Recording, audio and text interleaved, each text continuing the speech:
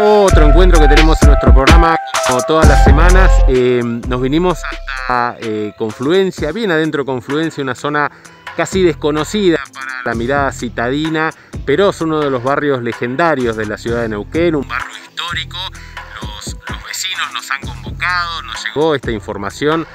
Este, curiosamente a través de la censura, pareciera un oximorón, pero bueno, se censuró tanto que nos, nos dijeron, che, no quieren tocar este tema que nadie lo quiere hablar. Están viendo eh, una suerte de incendios intencionales que están sucediendo en esta costa de Neuquén, muy vinculado al tema de los negocios inmobiliarios, como todo lo que hace las intendencias que tuvimos al, al, macrismo durante mucho tiempo en las intendencias y ahora tenemos al MPN que también es un experto en atar negocios inmobiliarios a largo plazo. Eh, habría que estudiar ¿no? cuántos apellidos de inmobiliarias están involucrados dentro de la arquitectura este, cleptocrática del MPN. Lo cierto es que hay un desmonte brutal, las imágenes que van a ver, pues si no puede ser que estén arrancando esta cantidad de eh, árboles, vegetación, lo que, el costo que va a traer eso y se mira para otro lado. Los vecinos nos invitaron, vamos a hacer un recorrido, hablamos con ellos, estamos justo acá en la parte donde fue uno de los focos del incendio, todavía hay humo, estamos grabando un lunes a la mañana, imagínense, este incendio ya eh, pasó los 5 o 6 días y todavía hay, eh, troncos humeando. Imagínense el desastre que es eso para esta eh, área natural protegida, que curiosamente, aunque usted no lo crea, el cartel que advertía que esta es un área natural protegida, se lo llevó el viento, curiosamente. Vamos a hacer esta recorrida con los vecinos y bueno, estas imágenes, la verdad que es muy impactante y sobre todo por la falta de respuesta que el gobierno, el MPN a través de la municipalidad niega una y otra vez. Ahora, llama mucho la atención que también está emparentado con los negocios en la isla 132, del cual ya hicimos este, un par de programas también.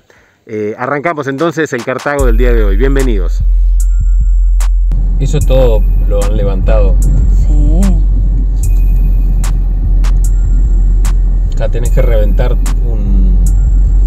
Todo el bosque. Mira, mira esos árboles.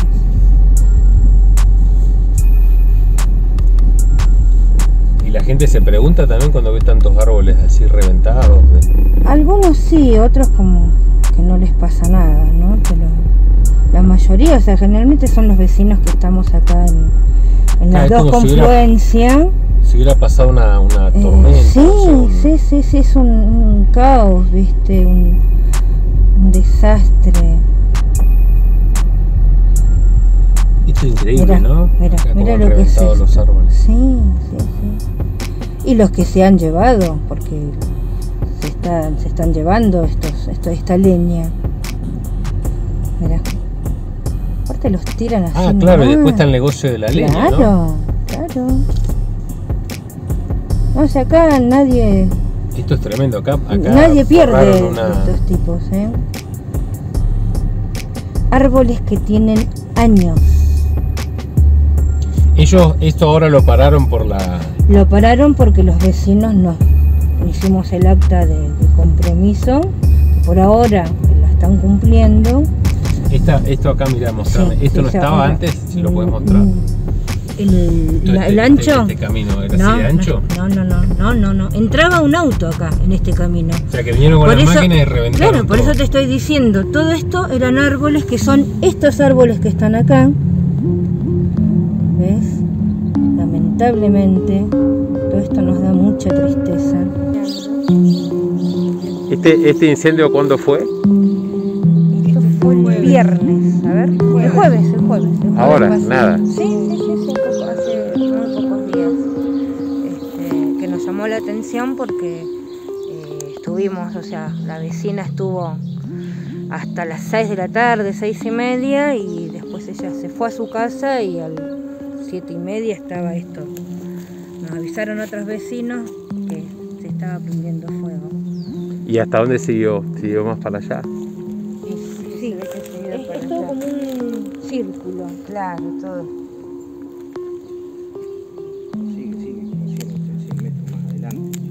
Sí, de hecho hay humo, ¿no? Sí, Todavía. sí, está Y hay unos que están, están humeando, pero bueno. eh, Eso habrá que ver cómo Claro.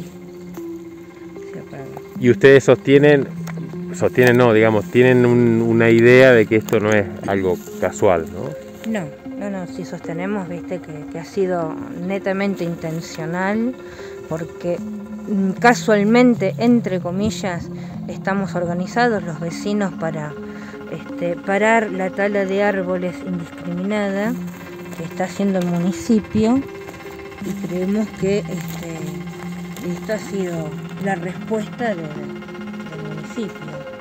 Así que, eh, bueno, es muy triste y es lamentable porque casualmente está en la línea este, donde está marcado el mapa donde se va a tirar este eh, árboles.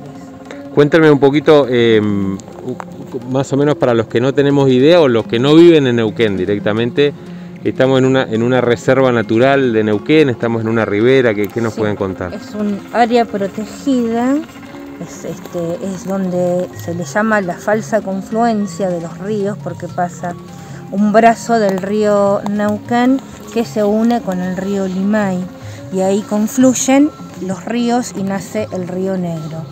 Bueno, es un área mm, donde hay una diversidad de flora y fauna y es, una, es un lugar, un área protegida por una ordenanza municipal, que eso es lo que nos llama poderosamente la atención. Si el área está protegida como área natural, ¿cómo es que la están destruyendo?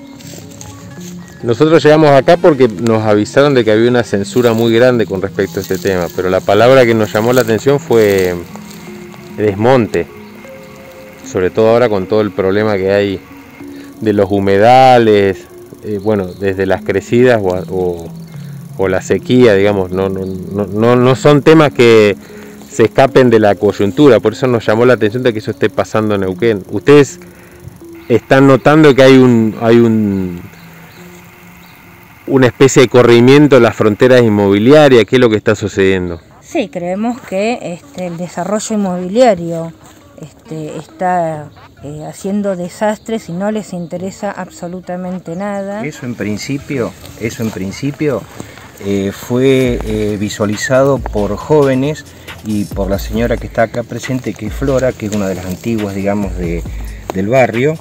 Este, y bueno, cuando se dieron cuenta de todo el desastre que estaban armando, eh, empezaron a comunicarse con los vecinos y ahí empezó toda esta movida. En Claro. principio, lo que se logró fue parar la obra eh, con una nota que en conjunto con la- la- el personal que estaba directivo de la, de la obra se hizo en la comisaría, en la comisaría del barrio, y por ese motivo se pudo parar la obra y que no haya innovación hasta que tengamos una, Un una respuesta concreta, un acuerdo entre partes, porque nosotros somos muy parte de esta zona, así que queremos saber, queremos saber qué es lo que están haciendo, qué es lo que quieren hacer y evitar la mayor destrucción posible. No estamos en desacuerdo con el desarrollo del sector, pero sí que se haga de una forma eh, correcta y respetando la biodiversidad que hay en esta zona, donde hay aves, peces, este, cisnes, eh, pájaros de todo tipo,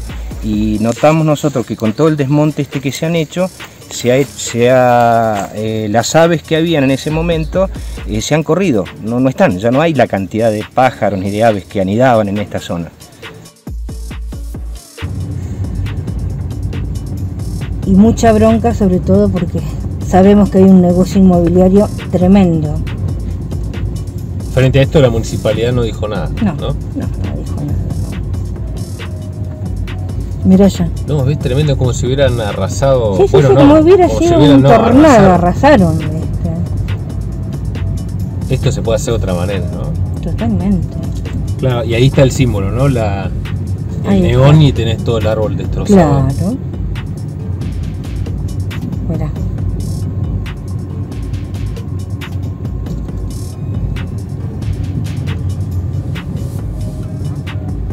Y después está el negocio de la madera, ¿no? Bueno, el negocio de la leña. ¿Esto también lo han hecho ahora? Esto lo han hecho ahora también. Todo tiraron. Todo eso que se ve pelado, trabajado, donde están las máquinas, todo eso lo ha tirado la municipalidad. Y está dejando, trayendo En, aquella en un área o protegida eso no lo puedes hacer. Debería ser así, pero indudablemente no respetan absolutamente Para que la gente vea ahí, está pegado el río, ¿no? Claro, acá está el río Acá también han, han levantado todo. y acá se ha levantado. Acá antes la gente bajaba